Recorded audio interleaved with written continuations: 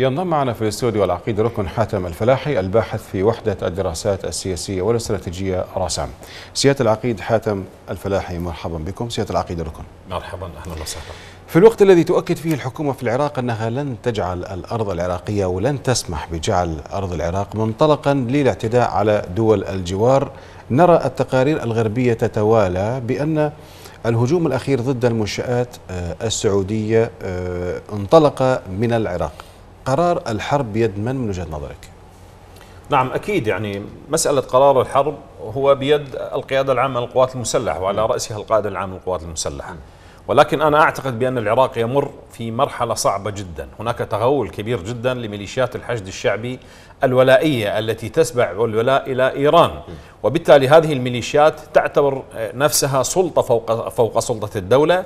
وتتخذ من الإجراءات ما يتلائم مع مصلحة المقاومة. والدليل على هذا بأن هناك ميليشيات عابرة للحدود تقاتل في سوريا منذ عام 2011 وعلى رأسها كثير من القيادات التي تجلس مع الحكومة العراقية الآن وتتفق.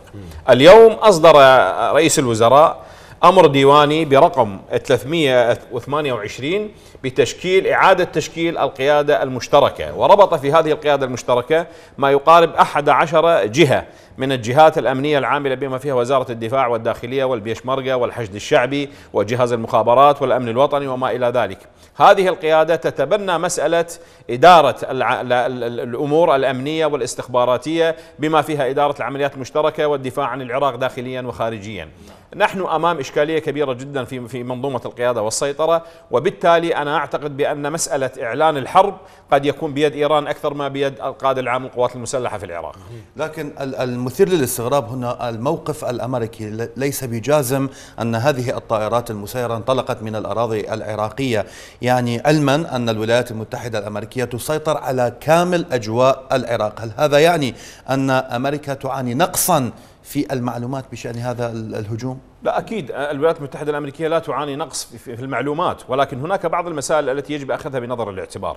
المسافة التي ما بين صنعاء التي يسيطر عليه الحوثي وما بين المكان التي حصلت فيه الانفجارات اليوم في شركة ارامكو في السعودية ما يقارب أكثر من 1200 كيلو. هذه المسافة طويلة جدا لا تستطيع الطائرات المسيرة التي يمتلكها الحوثي من قطع هذه المسافة والقيام بمثل هذه الأعمال.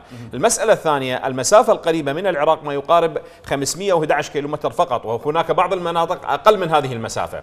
إلا إذا كانت هناك صواريخ كروز قد انطلقت من اليمن قد تكون الفرضية صحيحة بأن الحوثي هو من قام بهذه الأعمال. ولكن جميع الفرضيات تقول بأن هناك عشرة طائرات مسيرة هي من قامت بهذا الفعل واستطاعت أن تضرب أكبر معملين في هذه الشركة مما أدى إلى توقف أكثر من 50% من من صادرات النفط السعودية إلى إلى إلى العالم. وبالتالي هناك إشكالية كبيرة جدا. الولايات المتحدة الأمريكية حتى عندما تم إسقاط الطائرة المسيرة في في مضيق هرمز لم ترد على إيران. وبالتالي جميع الهجمات التي حصلت بما فيها التي كانت تهديد للقوات الأمريكية على السفارة الأمريكية على القنصلية الأمريكية في البصرة هي لم ترد. فلذلك حتى مسألة الآن التهديدات بأنها ستقوم بالدفاع عن السعودية أنا أعتقد بأن هذا للاستهلاك الإعلامي فقط. إذا لماذا في كل مرة الإدارة الأمريكية تهدد بأنها لن تسمح لإيران وميليشياتها بأن تهدد مصالحها في آه، المنطقة. في حين مع ذلك تكرر إيران دائما هذه التهديدات. نريد أن نعرف ما حقيقة الموقف الأمريكي من إيران خلال هذه الفترة. لماذا كل تهديدات من الإدارة الأمريكية تتبعها؟ يعني تلاشي لهذه التهديدات وعدم تنفيذ؟ نعم دعني أقول بداية إيران تسيطر على ماذا؟ إيران تسيطر تقريبا على الممر البحري الذي يمتد من الخليج العربي إلى مضيق هرمز إلى خليج عدن وصولا إلى إلى قناة السويس هذه المنطقة جميعها تنتشر فيها الأدوات أو المخالب الإيرانية في المنطقة. إضافة إلى ذلك هناك تواجد عسكري كبير جدا. لإيران في العراق في في سوريا في لبنان في اليمن في حتى في السعودية في البحرين أيضا في الكويت أيضا. هناك تواجد كبير جدا.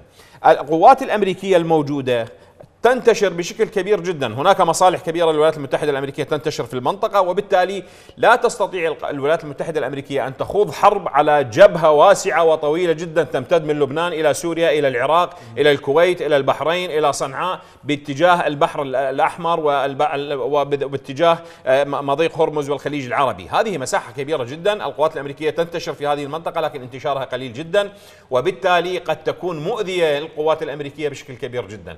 لذلك لذلك تحاول أن تتجنب الاشتباك العسكري منذ البداية. قالوا نحن لا نريد تغيير النظام في إيران ولكن نريد تغيير سلوك النظام في إيران. يعني هذا يدل على أن أمريكا عاجزة عن مواجهة إيران لذلك هي تتراجع عن تهديداتها. كون إيران تسيطر على مساحة جغرافية كبيرة. أمريكا لا تريد أن تدخل في مواجهة مباشرة مع إيران لأسباب كثيرة. م. واحدة منها بأن هذه المواجهة ستكون على حساب الصعود الصيني والصعود الروسي في المنطقة. أضف إلى هذا بأن الولايات المتحدة الأمريكية دخلت في أفغانستان ودخلت في العراق وتكبدت خسائر كبيرة جدا. نعم. وبالتالي أي مواجهة شاملة في هذه المنطقة قد تكون فيها خسارة كبيرة جدا لمصالح الولايات المتحدة الأمريكية في هذه المنطقة الحساسة اللي هي منطقة الطاقة للعالم. لذلك تحاول أن تتجنب المواجهة العسكرية وتضغط اقتصاديا على إيران لإجبارها على الجلوس إلى طاولة مفاوضات. طيب لنفترض مثلا أن التحقيق الأمريكي السعودي أثبت أن هذه الطائرات التي هاجمت البقيق وهجرة خريص أنها انطلقت من الأراضي العراقية. كيف ستكون آه، آه، ردة فعل الولايات المتحدة الأمريكية حول هذا الأمر؟ لا بداية دعنا نقول ما هي ردة فعل الحكومة العراقية. أنا أعتقد أنه لا ردة فعل للحكومة العراقية لأنها غير قادرة على ضبط إيقاع هذه الميليشيات والجميع يعرف هذا بأن الميليشيات هي من تسيطر سياسيا واقتصاديا وعسكريا وأمنيا على الملف العراقي. وبالتالي رد الحكومة العراقية حتى لو أثبتت التحقيقات وجميع التقارير بأنه انطلقت من الأراضي العراقية فلن يستطيعوا أن يفعلوا شيء لهذه الميليشيات لأنها هي من تمسك زمام الأمور.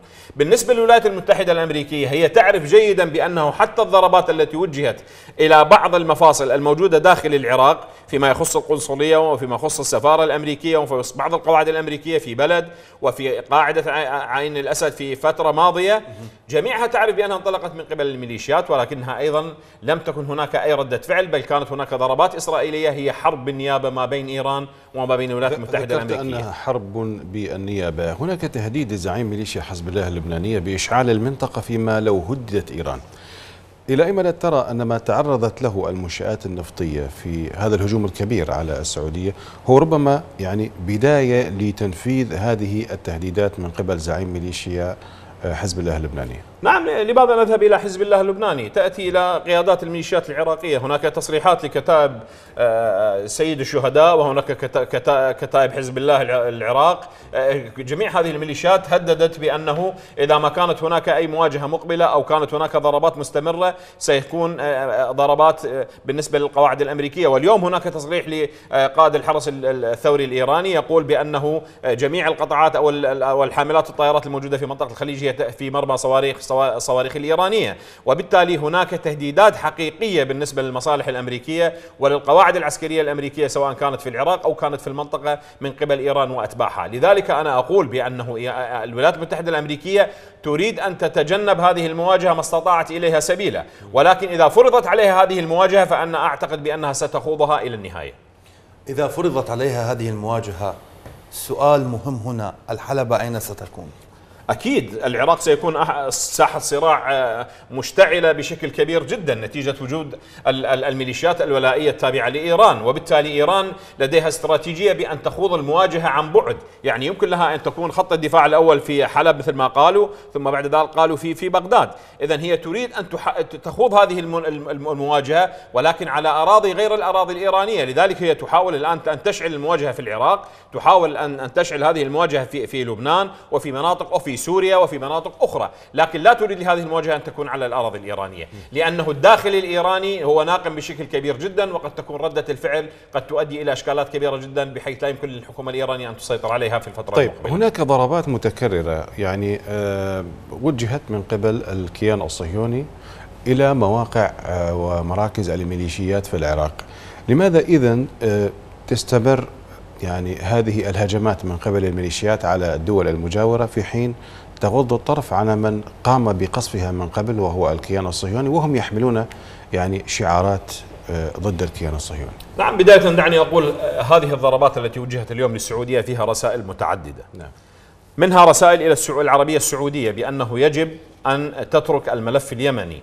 وأن تترك هذا الملف لأنها تدخلت فيه وسببت إشكالات كبيرة جدا بالنسبة للمشروع الإيراني في المنطقة. أضف إلى هذا هو رسالة للولايات المتحدة الأمريكية بأننا قادرون على أن نضرب كثير من المناطق التي تؤدي إلى إشكالات كبيرة جدا فيما يخص إمدادات الطاقة، وبالتالي عندما صرح روحاني في كانون الأول عام 2018 بأنه إذا إيران أوقفت تصديرها للنفط فلن يصدر أحد في المنطقة نفطه إلى العالم، وبالتالي هي تقوم على الضغوط بالنسبة للولايات المتحدة الأمريكية لإجبارها بأنه العالم أصبح الآن يحتاج إلى الطاقة وقد يعني تتطلب مسألة إعادة هذين المعملين التي تم قصفهما هذا هذا الصباح في الصباح.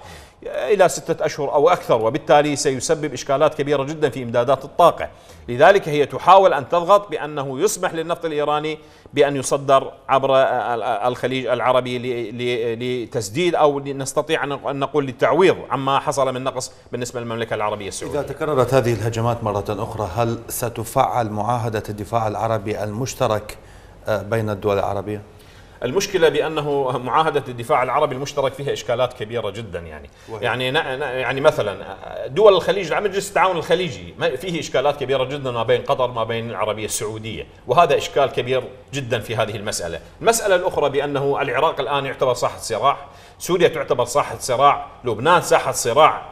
حقيقة ليبيا ساحة صراع اليمن ساحة مشتعلة. وبالتالي يعني مسألة الدفاع المشترك أنا أعتقد أنها آه، لا يمكن أن تطبق في هذه الفترة لأنه الكثير من الدول العربية تعاني من إشكالات كبيرة جدا. فلذلك لا يمكن تفعيل مثل هذه المعاهدة في هذه الفترة. ولكن أنا أعتقد بأنه ما وصلت إليه إيران هو نتيجة أن لديها مشروع في المنطقة. أما الآخرين فهم يفقدون أو يفتقدون إلى أن يكون لهم مشروع في المنطقة. هناك استراتيجية واضحة لإيران تتعامل فيها في المنطقة. ولكن ولكن الولايات المتحدة الأمريكية وحلفائها في المنطقة يفتقدون إلى استراتيجية واضحة للتعامل مع إيران في في في المنطقة. في, في أقل من دقيقة هل تتوقع أن تكون هناك يعني استهداف أو ضربات مشابهة من هذا النوع في ضوء غض الطرف الأمريكي أو في ضوء التهديدات الأمريكية التي لا تنفذ ضد إيران؟ أكيد عندما لا يكون هناك رادع عندما يكون هناك رادع لهذه الضربات آه، ستعطي المقابل إمكانية على أن يقوم بشيء أكبر مما قام به الآن. أنا أعتقد بانه ضرب الأهداف الاقتصادية في السعودية هي ضربة كبيرة جدا للاقتصاد العالمي وبالتالي سيسبب إشكالات كبيرة جدا. آه، بدأت الآن ترتفع أسعار النفط وسنرى نحن غدا البورصة سترتفع بشكل كبير جدا وستعاني سيعاني العالم من إشكالات في أزمة في في في في أزمة الطاقة. أنا متأكد من هذا وستجبر الولايات المتحدة الأمريكية على أن تأخذ من الخزين الاستراتيجي للتعويض عن النقص الذي سيحصل في المنطقة. نتيجة العربدة الإيرانية في المنطقة وعدم وجود رائدع لها بشكل كبير جدا ما أدى إلى تماديها بهذا الشكل الكبير. الباحث في وحدة الدراسات السياسية والاستراتيجية رسام العقيد الركن حاتم الفلاحي شكرا جزيلا لك لانضمامك إلينا. شكرا لك سيادة العقل